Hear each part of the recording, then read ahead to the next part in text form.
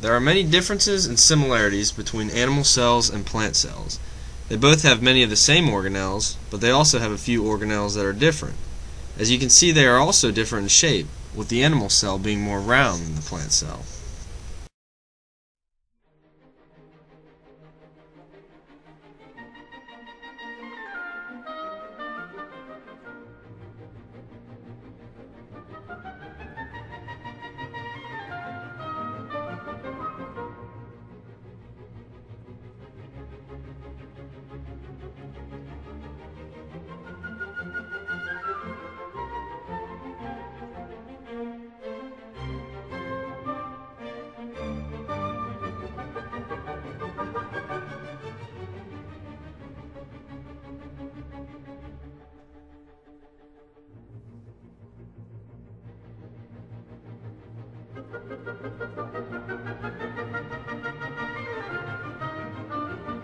Thank you.